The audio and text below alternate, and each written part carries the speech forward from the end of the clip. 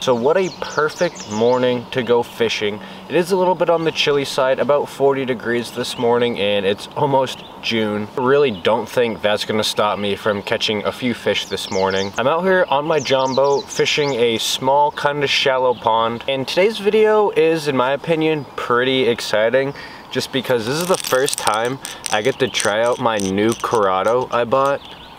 Not brand new to the market, it's been around for I don't know, 15 years or so. But I just picked up this reel. And this is the first time I'm using this jointed swim bait right here. And on top of that, it's the first time I'm using this G Loomis E6X medium heavy. So a lot of firsts today. And this is the lure I'm gonna be using today. It's from Valleyhill. It's called a Valleyhill Boogie Back. And this is like a wake bait. As you can tell, there's a lip on it. And with that lip facing almost straight down, it's a obvious wake bait. And it's in a natural bluegill color with a little chartreuse head. I think that's a cool little touch. The reason I decided to throw this bluegill lure is because in my area of New Hampshire, I believe some of the smaller ponds are finally post-spawn. So now that the bass are off the beds and they're gonna be feeding up, I think they're gonna be taking revenge on some of those bluegill that I've been messing with them all spring on the beds. And this bait here is 40 grams and 95 millimeters. And 95 millimeters is roughly three and three quarter inches and 40 grams is about 1.4 ounces. It is the perfect morning to be fishing. I don't know what I'm doing talking. I don't even have my GoPro on yet. I need to get to stepping.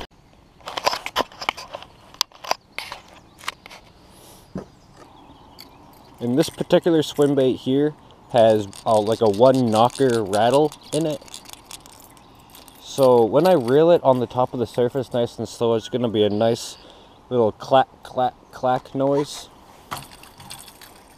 And uh, I already apologize in advance. I forgot an attachment for my mic, so I can't use my mic. I have to use the default audio on my GoPro, which is not that good.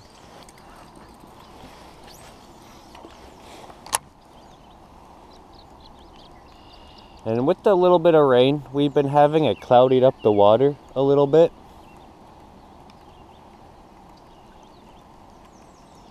So this so this pond isn't as clear as it was last time I was here, but I think that's actually going to help me because I am using straight 65 pound braid.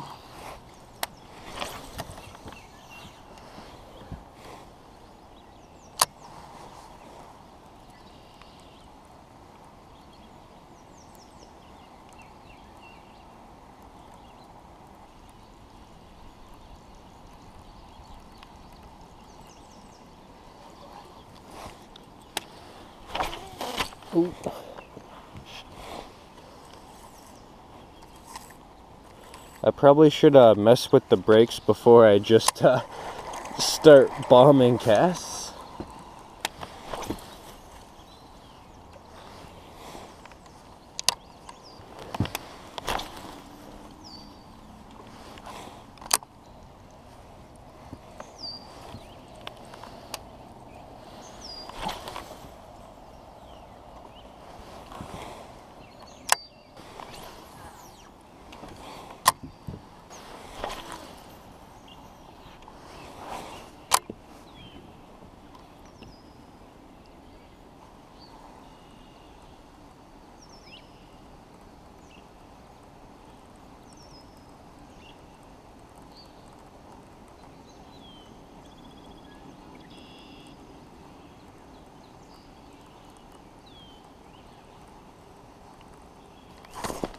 Got him.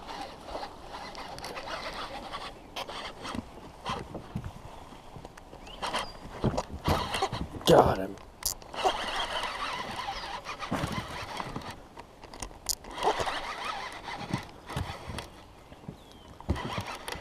It's pulling hard. Whatever it is. Look how fast it's turning the boat.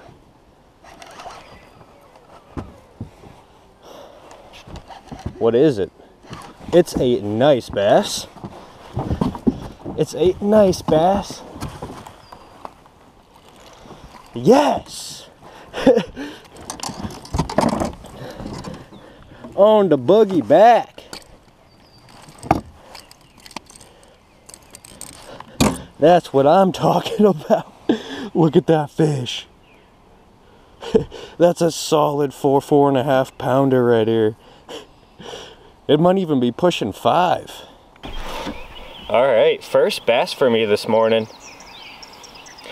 Sec and it is a solid bass on that boogie back. Let's put you back.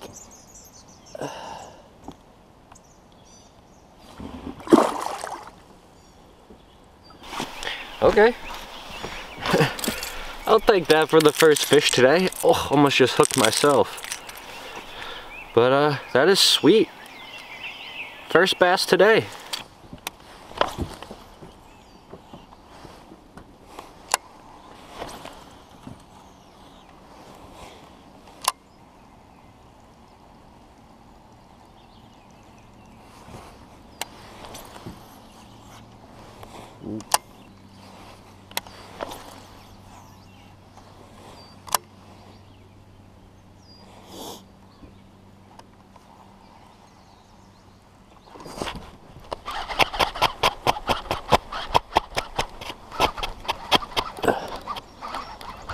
I got to uh, keep them up high, up over this beaver dam. That is another nice bass. I'm probably gonna have to net this one too. I'm flipping him. Oh my goodness. The boogie back strikes again.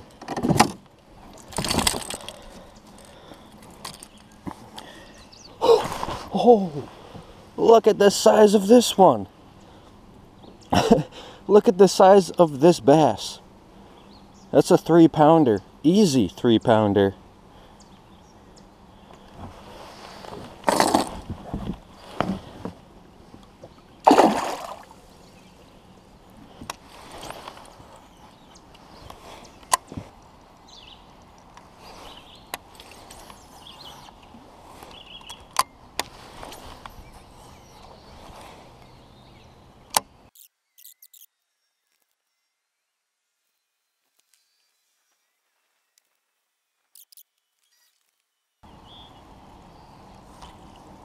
Nice thing about this bait too is that bill on the front of this really acts like a shovel almost and it will push the lily pads up and out of the way.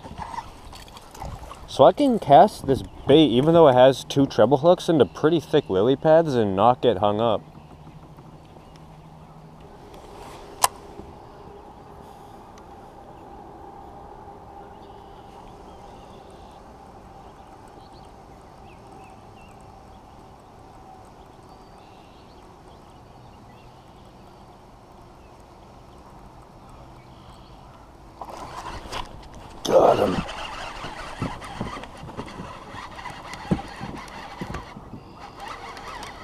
Look at him spin this boat.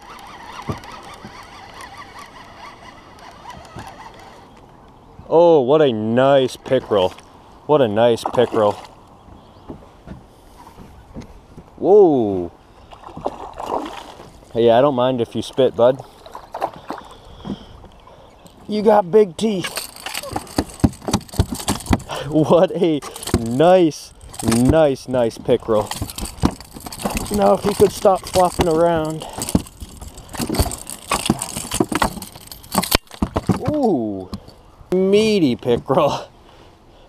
Look at him. That's all of three pounds right there. Another solid fish.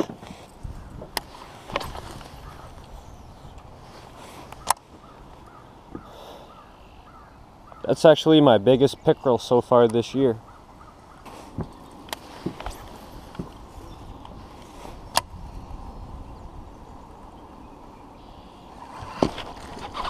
Got him.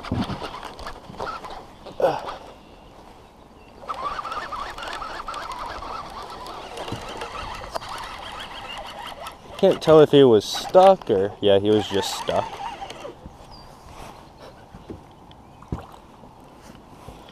Another pickle. Oh my goodness, another nice pickerel too. Not as big as the other one, but okay, you can go. Get out of here.